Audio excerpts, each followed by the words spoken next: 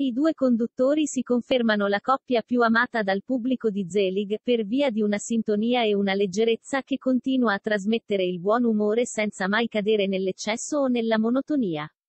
Ecco perché non sarà semplice dir loro, arrivederci, ancora una volta. La coppia che più mancherà al pubblico di Zelig dopo questa quarta e ultima puntata su Canale 5 è senz'altro quella formata da Claudio Bisio e Vanessa Incontrada. Nonostante l'affetto per i nuovi e vecchi comici, che hanno salutato con un caloroso arrivederci la platea dell'Arcimboldi, la coppia più amata del programma si conferma quella dei due conduttori che, a 25 anni dalla nascita dello show in tv, continuano a non stancare.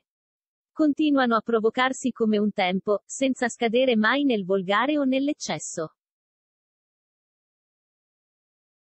Sarà che la risata di Vanessa Incontrada è contagiosa, che il suo modo di stare sul palco è sempre accompagnato da una certa dose di leggerezza o sarà che Bisio sappia trovare con lei il trovare il giusto equilibrio di complicità. Fatto sta che la conduttrice spagnola non delude mai ed è amatissima dal pubblico proprio per la sua semplicità e freschezza, che non ha perso negli anni. Tanto da potersi permettere battute come mi sudano i baffi, o mi sto pisciando addosso, senza mai scadere nel volgare. Sarà anche che gli sketch dei due comici lasciano sempre il beneficio del dubbio che possa trattarsi di una naturalissima improvvisata.